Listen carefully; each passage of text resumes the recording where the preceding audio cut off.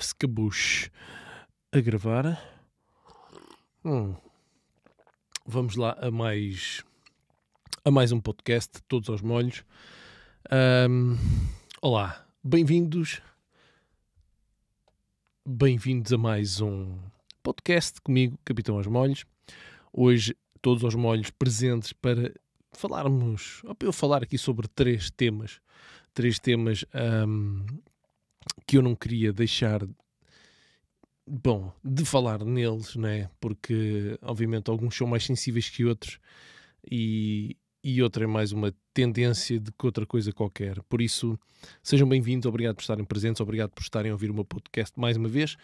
Uh, deixo aí a ideia, não é? plantar a ideia na vossa mente.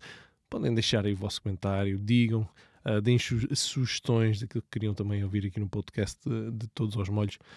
E, e vamos a isso. Eu vou começar por enumerar as três, bom, as três partes que eu quero falar hoje, os três, os três assuntos, os três temas que eu quero falar uh, aqui hoje e que tenho alguma coisa a falar sobre elas, ok?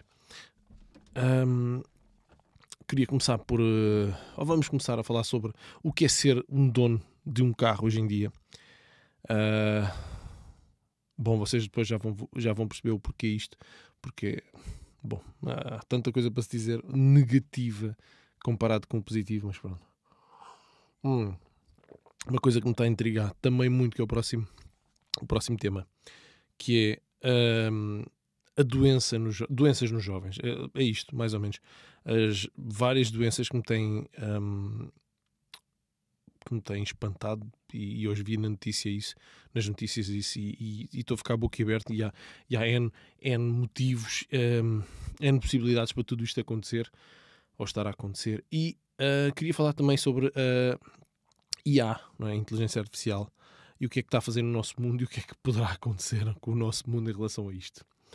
Pelo menos a minha ideia, a minha teoria um, e espero que espero que gostem. Um, das minhas ideias tarolas, parolas, parvas, mas com alguma responsabilidade e com até eu diria com algum conhecimento, não é? Bem, vamos ficar só com 10 segundinhos do que é suposto ser a, a melhor intro de sempre. Oh God, sou tão humilde. hum. Até já.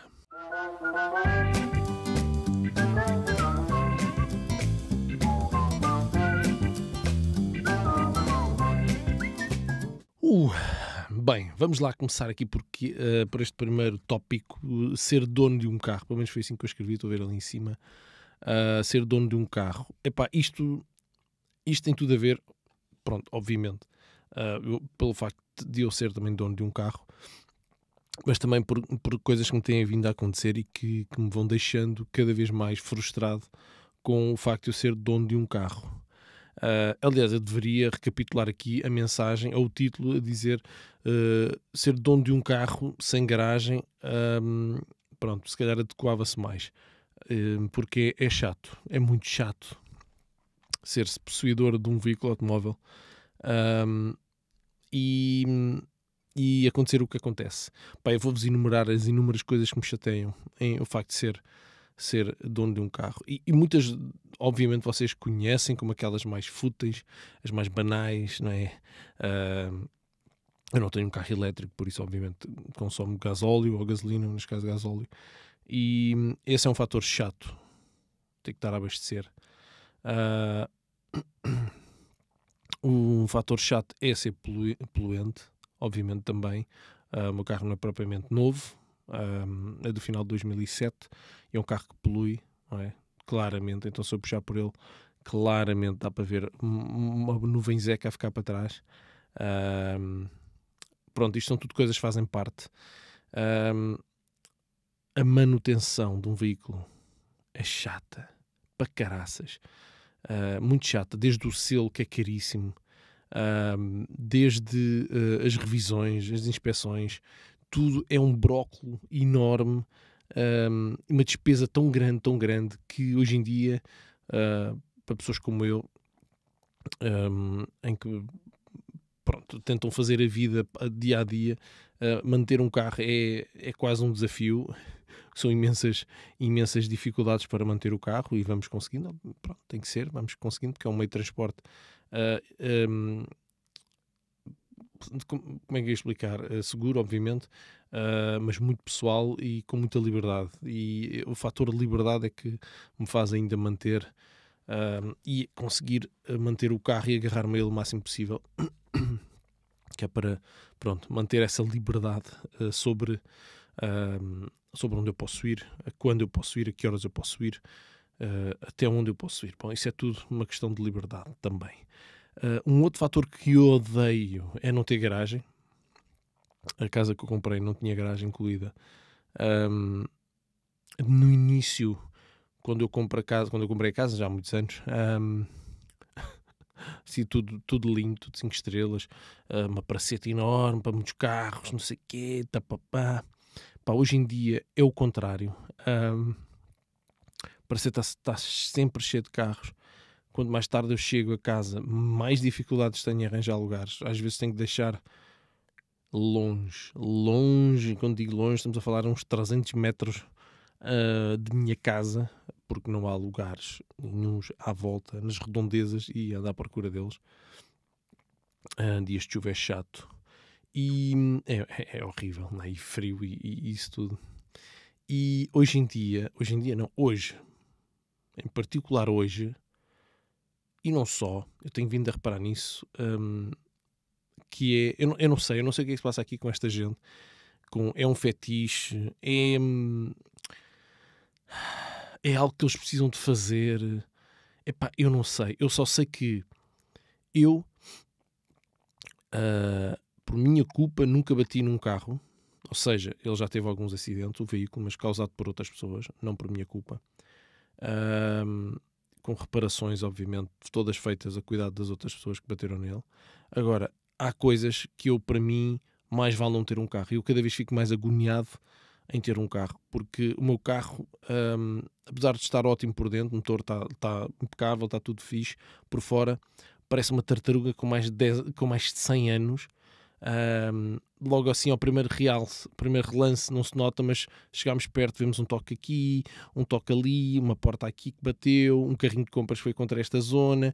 Algum, algum, epá, não, não há nome possível para esta gente que passa de lado e risca a porta de um lado. Epá, irrita-me profundamente e, e, espero que, que todos esses uh, indivíduos que tiram algum prazer em riscar carros uh, que caiam todos numa valeta e fiquem para lá o resto da vida encurralados. É isso que eu tenho a dizer sobre esta gente.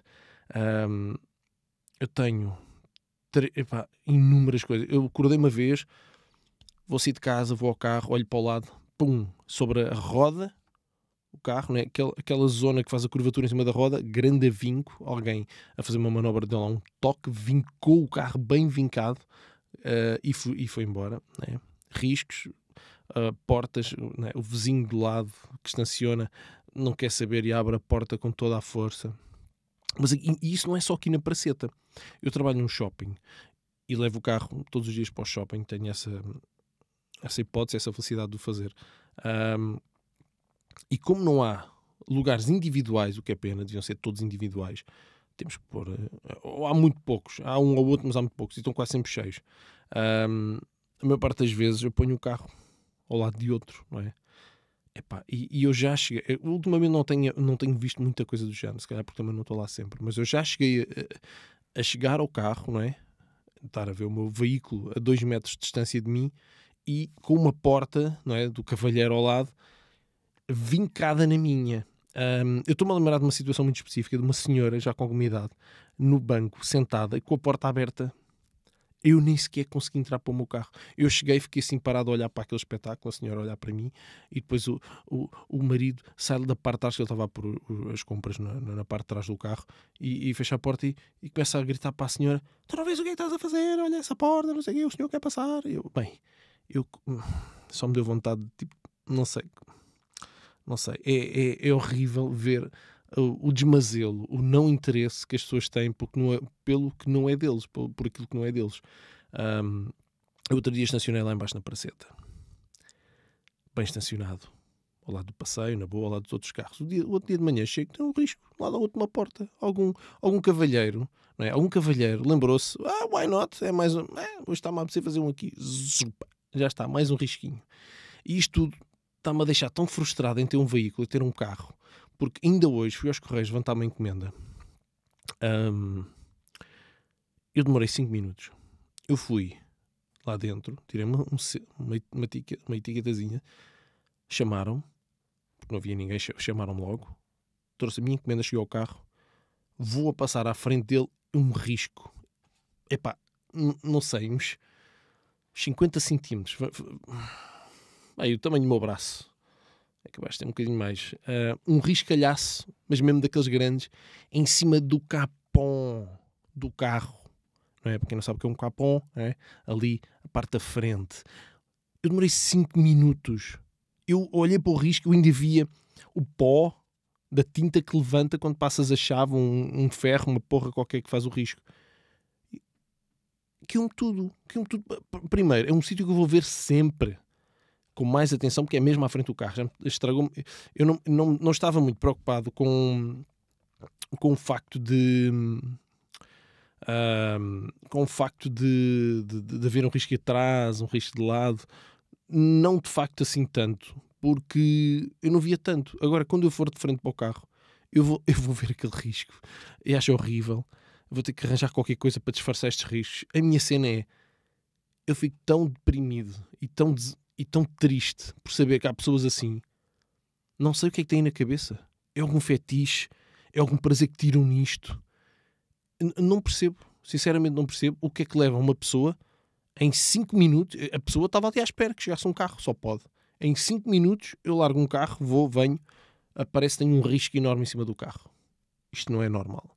Eu não sei o que é que eu faço a uma pessoa se eu apanhar em flagrante. Sincer, confesso que não sei o que é que eu faço. Não sei.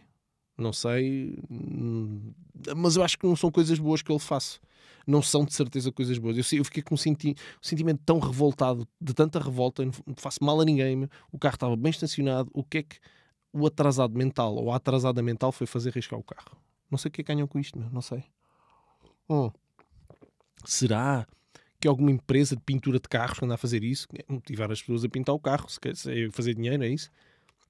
Não sei. É revoltante e isso faz-me com que uh, me sinta triste em ser dono de um carro. Porque ano após ano o carro acumula brindes, acumula uh, acumula moças pequeninas, portas de toques de carros, de outras porcarias, acumula riscos que as pessoas fazem ridiculamente no carro. É uma tristeza. Quem viu o carro e quem o vê, o carro podia estar como novo e não está, porque as pessoas não querem saber, estão-se a cagar para os outros, são egoístas e, e, e fazem o não sei, há aqui não sei, há muita gente, muita marada na cabeça hoje em dia. Infelizmente é frustrante e hoje foi mais um dia frustrante uh, em ver um risco daqueles naquele sítio por maldade. É pura, pura e dura maldade o que as pessoas fazem. Não tem outro nome. Não venham com desculpas. Não tem outro nome. É maldade. Ai, Jesus. Mas pronto, deixa-me acalmar. é um tema que me revolta um bocado porque. Jesus. Bom, vamos passar para o próximo tema. Uh, que também é sério. Também é sério. Um, eu não tinha assim tanta ideia disto que está a acontecer. Doença nos jovens. O que, o que é que eu falo aqui em relação ao que é que são doenças no, nos jovens? Ainda hoje estava a ver o telejornal à tarde, à hora do almoço, e, epá, e apercebi-me, apercebi-me não, falaram nisso, e depois é que me começou a cair a ficha. Um, cada vez mais, uh, acho que entre os 30 e tal, 40 e tal, ou, pô, já não me lembro, é, mas é ali entre os 30 e os 40, ou mesmo 25 e 40 anos, que há um crescimento, pelo menos segundo o que vi, de 70%. É imenso. De casos de cancro. Estamos a falar de cancro. Uh, em jovens. Já não é nos 70 e tais para cima, 60 e tais, 80 e tais. Estamos a falar de pessoas jovens. 25 até aos 40. 70%. Houve uma subida de 70% de casos neste tema. E isto é assustador. É assustador. E o, e o principal era uh, o cancro no, nos intestinos. Uau! Um, uau! Incrível. Como é que é possível? Uh, e depois muitas teorias, e uma delas é, sem qualquer dúvida, aquela que eu penso também, que é comida. a porcaria de comida que se come hoje em dia. Um, para quem não tem tanta atenção no come, e, e, e, e pá, eu vejo muita coisa, eu vejo cada vez mais as pessoas a esquecerem-se de comer uma salada, a não comerem muita fruta, alimentarem-se à base de batatas fritas e proteína, pronto, um bife e batatas fritas, um peixe e batatas fritas, uh, e não e, e esquecerem-se muito dos verdes, uh, das frutas, que é super importante. E, e não é só isso, é um bocado isso, a ausência de, desses, desses bons alimentos, desses alimentos verdes, desses alimentos saudáveis, um, a ausência desses alimentos. E depois, um, também, uh, no meu ponto de vista, uh, o facto de não se exercitarem muito do meu ponto de vista e do ponto de vista médico também, porque eles também falaram nisso, um, de serem literalmente calões, é comer e ficar sentados. Cada vez mais as pessoas estão sentadas ao computador ou a ver uma série ou whatever e esquecem-se do exercício físico que é preciso. Não é só para ficarmos bonitos para o verão, uh, não é só para uh, a camisola ficar fixe, né? não, é só, não é só para isso, mas é também para, para sermos saudáveis.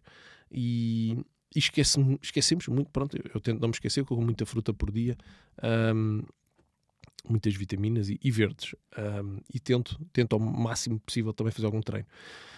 Mas há muito esse esquecimento, imenso, e cada vez mais com os fast foods, com uh, as comidas, os menus que hoje em dia não são menus. Eu, eu outro dia fui ao continente e comprei uh, comida já feita e depois embalada. Uh, aquelas comidas eh, são comidas caseiras, mas feitas por eles e depois embaladas para, para comermos. O que não, também não é bom, porque se fores, se fores ler um desses, um, desses, hum, um desses pratos de comida que eles têm, vês lá que tem imenso sal, tem imensas outras coisas que normalmente em casa não pomos tanto. Uh, mas às vezes para, para desenrascar uh, serve, acompanhado de uma salada e uma sopa e uma frutazinha. E, hum, eu comecei a, a, ver. Eu acabei. Eu, eu, lembro-me que é eu lembro muito bem o que é que eu trouxe para comer. Era um bacalhau, um, bacalhau com batatas, ovo. Estava uh, porreiro, estava bom. Mas eu acabei de comer aquilo e fiquei a olhar para o prato. Epá, e pensei. Então, mas eu já comi tudo. De certeza. De certeza que eu já comi tudo.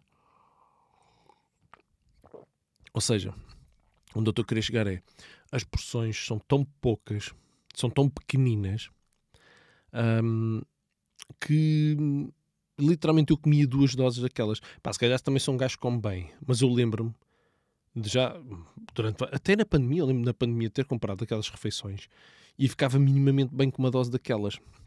Ou uma outra. Ou a teoria do continente é, ok, este é um é o prato principal, mas tens que levar sopa, sobremesa e, e fruta, que é para com isto tudo encheres a pança. Ou então, uh, eu acho que a dose é muito pequena e as pessoas não se andam a alimentar bem porque associam, é isto para chegar à parte da associação, associam que aquilo é uma dose normal para se comer. Um, não acho que seja normal. É, é, pouca comida, muito pouca comida. Um, mas pronto, também não é tanto por aí que eu quero chegar, que eu quero ir, porque a comida até é feita caseiramente uh, e não é uma má comida, não é uma fast food. Uh, o maior problema que eu acho que vejo nisto é a quantidade de porcarias que as comidas levam hoje em dia. E não são só as comidas, as frutas também. Uh, a comida leva, leva produtos. Sabe-se sabe lá o que é que é aquilo que nós comemos, aqueles corantes, aqueles, aqueles um, produtos todos para preservar. A fruta é o que me assusta mais, a fruta e os legumes, porque isto tudo tem que ser curado, é? tem que ser tratado. Um, Hum, um cabo, está bem. Um, tem que ser tratado para não, para não ganhar bicho, para não apodrecerem, para não serem comida pelos insetos e tudo isso. Uh, e esses produtos, em excesso, em quantidades que devem pôr, uh, deve ser tão, tão grande, tão grande. Eu digo-vos isto porque eu, o, o meu pai faz cura das árvores também. E o meu pai diz e relata que cada vez mais o bicho, né? Ali o, bichano que vai tentar devorar a colheita está resistente, ou seja, tem que dar doses maiores a isto, tem que dar doses maiores de pesticida nas árvores, nas colheitas, para que estes insetos morram, estes bichos morram. E esta porcaria toda que pomos na comida, de certeza que não nos está a fazer na comida, pronto, na, nos produtos que estamos a cultivar, de certeza que não nos está a fazer bem, de certeza que estamos a ingerir isto em quantidades maléficas, o nosso organismo está a levar com esta porcaria toda um, e obviamente isso vai fazer mutações no nosso corpo e vai gerar uh, os cancros. Um, o que é triste. É triste porque não há um fim para isto. Não há. Porque uh, isto é uma bola, é uma bola de neve em que começamos por uh, tratar, e não ser biológicos, tratar as nossas colheitas com pesticidas. Obviamente, como tudo na vida, há uma tendência para criar resistências estes bichos criam resistências, temos que aplicar mais produto, temos que aplicar produtos mais potentes, mais fortes. Isso vai nos dar cabo da saúde. Isso vai estar-nos a estragar a saúde cada vez mais. E isso nota-se. Nota-se agora com estes índices de 70% mais nos jovens. São jovens agora que comem mais porcaria, são jovens agora que comem uh, menos comida saudável, mais fast food. Coca-Colas, bebidas com gás, todas essas, porque todas essas comidas já feitas, uh, prensadas, whatever, aquilo é feito no que comidas feitas em impressoras 3D, whatever, o que é que é isto? Bem, bem não sei. Um, e, obviamente, está-se a notar isto cada vez mais nos jovens por causa disso. Por causa disso. São a, a eles aqueles que tomam menos cuidado com a alimentação. E depois a notícia também era assim, isto é interessante, que os idosos há uma, há uma está a haver uma tendência a haver menos casos de, de, de, de cancro no, no, nos idosos, nas pessoas com, com mais idade, o que, o que reflete tudo aquilo que eu estou a dizer. Há aqui uma tendência. Os mais antigos que têm aquele hábito de comer mais saudável estão-se a aguentar mais, os mais jovens que nasceram nos McDonald's, nos KFCs, nos Burger Kings, whatever da vida, uh, escapam à fruta porque não comem, escapam só aos verdes porque diz faz nó na barriga e é só proteínas, é só carboidratos e mais nada, é, é pumba para a pança. Uh, o organismo, alguns ainda tomam umas vitaminas, que é para compensar alguma coisa, aqueles que se lembram, uh, mas uh, pronto, e, e, depois, e depois há, aqui, há aqui o que eu chamo uma má alimentação também. em que quando devia estar a comer uma aveia, uma aveia com iogurte e umas frutas, estás a, estás a manjar não é? Uh, uh, não há aqui um termo que eu, que eu, esteja a encontrar para isto. Em vez de estar a comer uma coisa boa, estão literalmente a derreter um saco de gomas. Uh, e acham isso uma refeição. Consideram isso um lanche, consideram isso uma refeição. Eu vejo imenso isto. Imenso isto a acontecer constantemente. Uh, os açúcares ali, tal, tal, tal. Os açúcares ali a ganhar, a ganhar, a ganhar. E depois, claro, uh, estranham ter o braço do adeus, não é? Aquele braço em que a parte de baixo abana como se não, for, não houvesse amanhã, não há ali um, um, um, um trícepsinho em baixo. É normal, é normal, é os açúcares. Mas pronto, isto é estrondoso, é escandaloso, como é que e, e, não há aqui não há aqui maneira para pararmos disto, porque agora mesmo que queiramos ser saudáveis com, com produtos biológicos, hum, eles não são tratados, não são nada. Hum, epá, temos, temos cada vez mais uh, bicho na, na, nas frutas, no, na, nos legumes, em toda a comida, que é muito mais complicado agora de não ter do que, do que há uns anos atrás, uh, porque não havia muita coisa, aquilo que havia tratava-se facilmente com um produto qualquer, agora há, há, há um, há um, há um pronto, os produtos não são tão eficientes para isto e pois não sei, e quando, e quando se tem que usar, usa-se com cada jarda que, que até a fruta acho que tem sabores diferentes aquelas que se compram no supermercado. É, é impressionante. Eu não sei onde é que isto vai parar. Uh, eu não sei, não sei. Ou se inventa alguma coisa para curar de facto o cancro, é? para eliminarmos essas células, células cancerígenas uh, muito, muito rapidamente assim detectadas, sem, sem tratamentos ninjas que matam o corpo todo. Ou então, não sei, não se caminhamos para, um, caminhamos para uma altura, uma época em que vamos ter que imprimir em impressoras a nossa comida para que não tenham problemas, que sejam manipuladas por nós, para que possamos comer como deve ser. Mas não sei se é seguro ou não. Vamos ver o que é que este mundo dirá. Uh, creepy. Também assustador. Também assustador é o tema seguinte, que é a inteligência artificial. AI.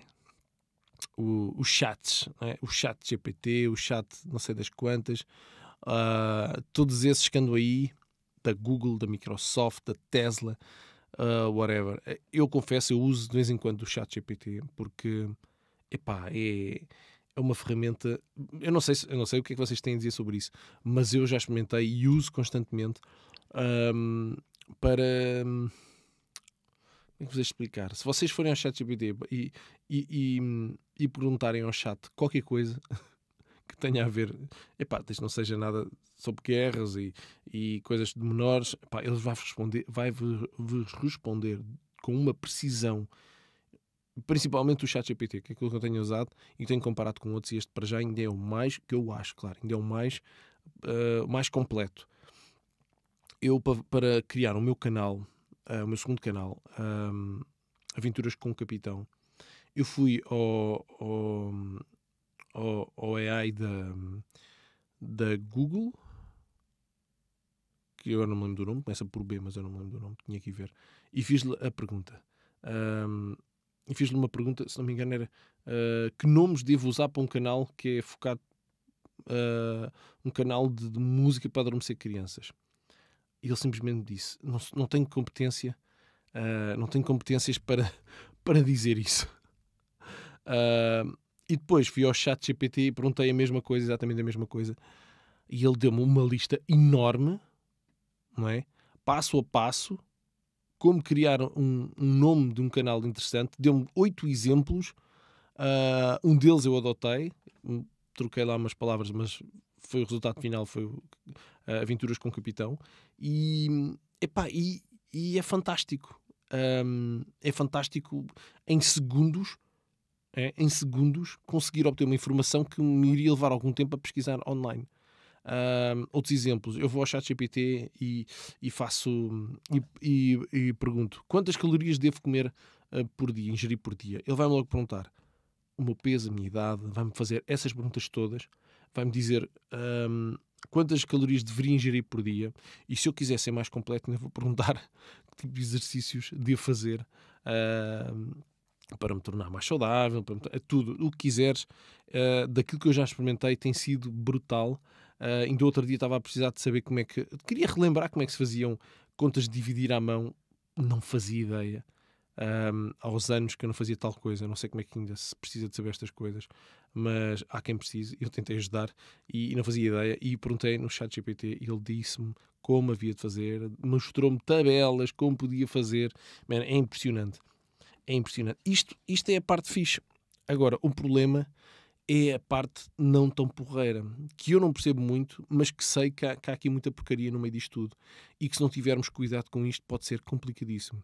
Uh, eu soube de casos, e eu li na net, de casos, uh, muito no início da, da AI, da inteligência artificial, de pessoal a fazer perguntas no chat conseguirem obter licenças do Windows através de. Não sei que perguntas é que usaram para conseguir fazer aquilo.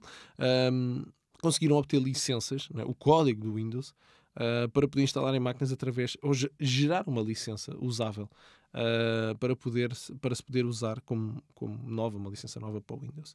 Isto é um exemplo. E, e é de certeza que agora já não se consegue fazer, de certeza que agora já houve aí muitas voltas que, e, e muitas limitações que, que criaram estes chats, mas quem, quem souber fazer as questões, as questões um, de, da maneira melhor, quem souber fazer de, da melhor maneira estas questões, uh, é de facto quem, quem consegue tirar mais proveito deste tipo de, de, de software. Eu lembro-me lembro que um, uns colegas uma vez perguntaram ao chat que queriam saber como é que era? Eu não me lembro bem como é que eles perguntaram, mas eles um, perguntaram de maneira do género: ah, Chat, gostava de saber quais as, as lojas ou, ou, as entidades que vendem X produtos para fazer explosivos. Uh, isto é um exemplo. E ele dizer: Ah, não posso fornecer estas, essas, uh, estas informações, blá blá blá blá. Mas depois fazerem a pergunta de uma maneira diferente um, e ele responder de maneira: Ah, deves evitar estas lojas porque vendem isto, isto e isto. Ou seja, acabou por dizer o nome das lojas, mas a dizer que deves evitar. E eu não sei se já foi retratado, resolvido, porque quem diz estas coisas diz muitas outras coisas. Isto foi um exemplo que eu não lembro bem da, da, da história que eles contaram, mas eles conseguiram dar a volta. Uh, à questão por palavras e ele responder na mesma, apesar de estar a dizer na maneira negativa para não o fazer. Um, é assustador o que é que uma inteligência artificial consegue uh, fazer num futuro ou não. Eu espero que seja só para coisas boas. Espero que quem anda a fazer isto da inteligência artificial tenha em consideração todas, mas todas as hipóteses possíveis para que não caímos numa Skynet, né? para quem viu, um, para quem viu o, hum, aquele filme com o Arnold Schwarzenegger, um, que agora me está a faltar o nome, oh my god. Um, uh, uau, como é que agora me está a faltar o nome? Bom, uh, já, já lá, já lá só, só me vem à, à, cabeça o Predador, também é com ele, mas oh my god, ele diz I'll be back. oh my god, mas está bem, uh, não sei, deu uma branca. há, há de me aparecer, vamos seguir em frente. E hum, é bom que, te, que tirem proveito e que saibam aquilo que estão a fazer, porque um, parece-me ser uma ferramenta muito prática. Eu já uso também um, no, em, quando uso o, o, Photoshop, já existe uma versão com, com inteligência artificial que ajuda uh, a fazer muitas de, de, das partes mais difíceis que era editar uh, uma foto e, e, e, de alguma maneira arranjar as cores naquela foto já ajuda imenso. Um, e, epá, e, e, vejo coisas muito boas uh, para aqui, mas também é muito assustador. Não queremos cair, de facto, num, num mundo em que somos dominados pela inteligência artificial.